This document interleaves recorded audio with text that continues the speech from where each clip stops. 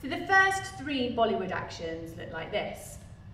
We're going to open our right arm out into tree and bring it back in. Repeat with the left. And then open both up, both into tree and bringing it back in.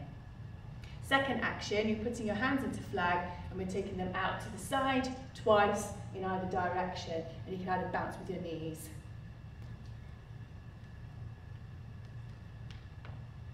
And the third action, we're rotating our fingers and our hands around our wrists, clapping at the top and then lowering it down into lotus flower and we'll repeat that twice.